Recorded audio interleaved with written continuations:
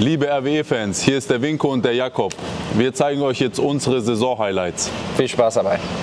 Für mich einer der Saison-Highlights war äh, ja, das Spiel in Dresden. Es war mein 100. Pflichtspiel für RW, also auch ein Jubiläum, 2 zu 2.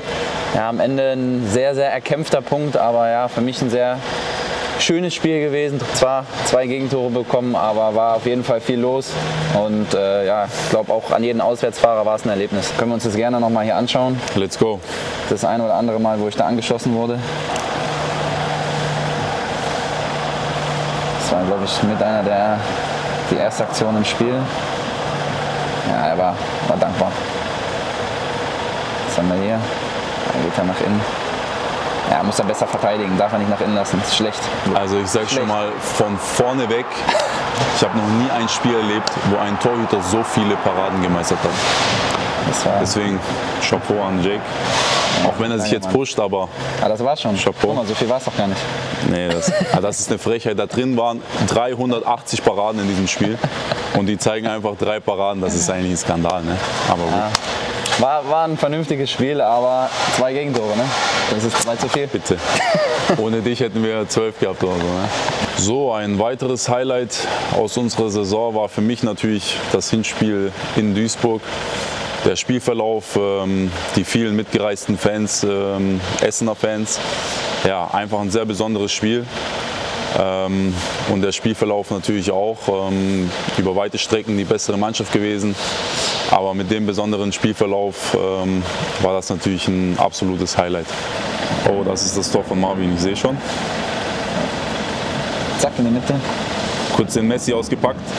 Oh, mit links dann. Boah. Bam! Boah, ich weiß noch die Stimmung. Man hat gedacht, man spielt zu Hause. Ne? Nach dem Spiel.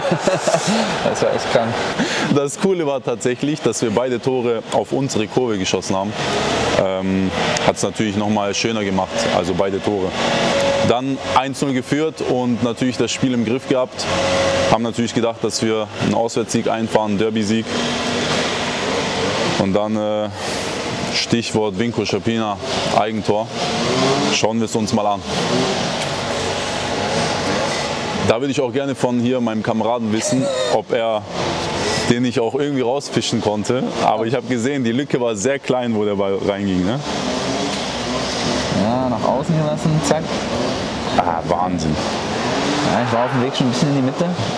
Ich dachte, da kommst du nicht mehr ran und dann geht er wirklich durch die zwei Zentimeter da durch ins kurze Eck. Ne? Also auch mit so viel Zeitabstand noch ähm, ärgere ich mich über dieses Eigentor. Weil ich mir dachte, wir waren eigentlich die viel bessere Mannschaft und äh, so ein Gurkentor jetzt führt zum Unschieden. Ja, zu dem Zeitpunkt dachtest du nicht, dass du das Spiel noch abgibst. Dann in der 89. war das, da dachtest du echt, das kann nicht sein. Aber dann kommen wir zum nächsten Punkt.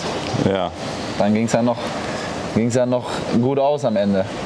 also das ist, muss ich sagen, jetzt, wenn man rein Momente, habe ich schon ein paar Mal gesagt, das ist der beste Moment aus unserer Saison, meiner Meinung nach. Emotional und alles drum und dran. 90. Minute. Felix kriegt den Ball dann nochmal Alle sind im 16er. und dann köpft Mussi den ein. Mustafa Kuruma, schaut euch den Jubel an, schaut euch. wow. ja, und Und die linke Faust, die linke Faust ist dabei. Ja. War mega. Ja, war überragend. War Weltklasse-Tag, muss man sagen. Ja, die Erleichterung äh, in den Augen der Fans, alles zusammen, das Geschrei, die ganze Wand, alles war rot. Geil. Toll. Top-Moment. Für mich ja, nächstes Saison-Highlight äh, war das 2 zu 0 in Mannheim.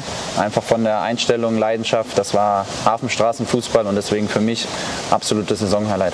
Äh, auch sehr emotional gewesen am Ende. Einfach drei überragende Punkte und äh, wir gucken uns das gerne an. Jetzt mal ganz kurz, wie frech ist das? Er nimmt zwei Saison-Highlights, wo ich nicht dabei war. Ja, siehst du, wenn du nicht dabei bist, lieb Ist einfach. das komm, schauen wir uns an. Komm, komm. Wow. Nee, gerne. Tommy Freistoß. Ja, guck mal, jetzt Ende, guck mal, wie der den ablegt mit dem Rücken. Zack. Ach, das war die legendäre Ablage von Ende mit dem Rücken. Hans Oben macht den gut weg. Ja, ja. Torben war allgemein in dem Spiel richtig, richtig gut. Ja, und dann, in wie vielen Sekunden war es? Oh ja, historisch. Ich glaube 14 Sekunden, ne? Einwechslung. Oder 17. Leo. Guck mal, Ball. Ja, Da fällt er nochmal hin. Holt sich den Ball Oh, super Pass. Plätsch auf Kopf. überragend auch. Den Bam, rüber. und Deckel drauf. Und jetzt achtet mal auf den Jubel. Zlatan, Zlatan. Ja. Ja, war top. Nee, war, war ein geiles Erlebnis. In dem Spiel kann ich mich noch erinnern, Felix Götze auf der Linie, Enne auf der Linie.